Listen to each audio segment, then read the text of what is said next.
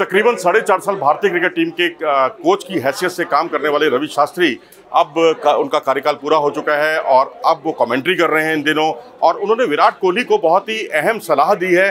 उनका कहना है कि विराट कोहली को खासकर स्पिनर्स के सामने स्पिनर्स को कैसे खेलना है उसके लिए एक रणनीति उनको बनानी चाहिए उनके सामने खासकर उन्हें अपना पैर निकाल कर आ, स्वीप करने की स्वीप शॉट खेलने की आदत डालनी चाहिए।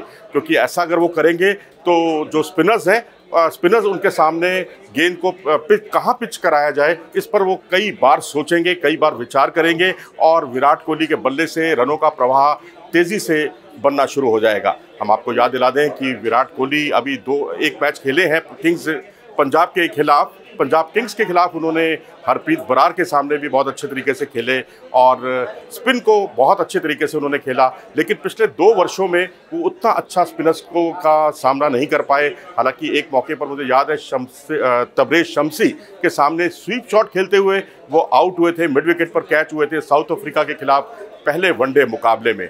तो अब आ, उनका मुकाबला अब वरुण चक्रवर्ती से होने वाला है सुनील नारायण से होने वाला है।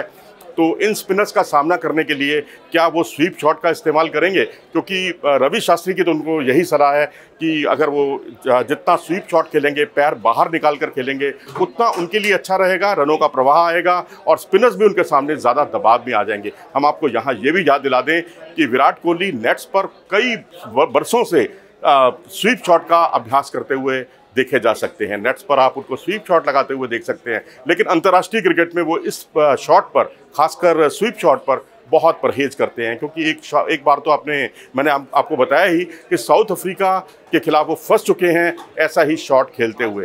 वैसे अगर देखा जाए तो अगर आप स्वीप शॉट के बजाय स्वीप को स्क्वायर खेलने की बजाय अगर आप स्लॉक स्वीप खेलते हैं मिड विकेट की दिशा में तो वो उतना जोखिम भरा शॉट नहीं है। इसी तरह से रिवर्स स्लॉक स्वीप को भी आप बहुत अच्छे तरीके से खेल सकते हैं।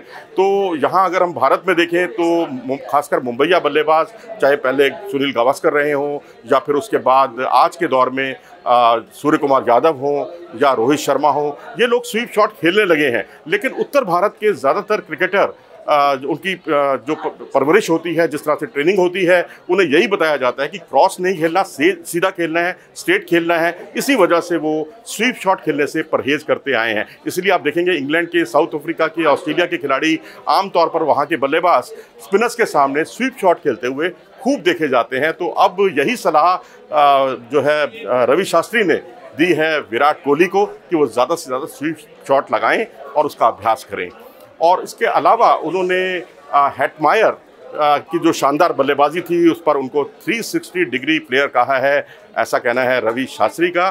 तो उम्मीद कीजिए कि हेटमायर के बल्ले से कुछ और बड़े शॉट, आकर्षक शॉट देखने को मिले और उनमें ज़्यादा कंसिस्टेंसी देखने को मिले और साथ ही विराट कोहली भी कुछ अच्छे स्वीप शॉट के साथ उभर कर सामने आए, क्योंकि गर्मी हो रही है, ज़्यादा जितनी पिच सूखेगी, उतना आईपीएल में भी आपको आगे आने वाले समय में स्पिनर्स को ज़्यादा मदद मिलती हुई दिखाई देगी। तो आप स्पिनर्स के सामने खेलने की सही रणनीति यही है कि आप ज़्यादा से ज़्यादा स्लॉक स्वीप खेलें या रिवर्स स्लॉक स्वीप खेलें, जिससे आप अपने आप को ज़्यादा जोखिम में भी नहीं डालेंगे। अगर आपको ये वीडियो पसंद आया हो तो इसे लाइक करें और हमारे चैनल को सब्सक्राइब भी करें। नमस्कार।